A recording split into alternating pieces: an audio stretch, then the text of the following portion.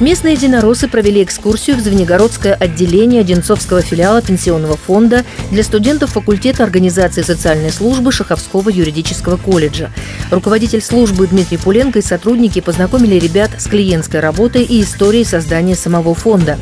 Сегодня это подразделение одно из самых крупных в Московской области. Здесь также находится архив города Москвы. Фонд насчитывает около 1100 рабочих мест.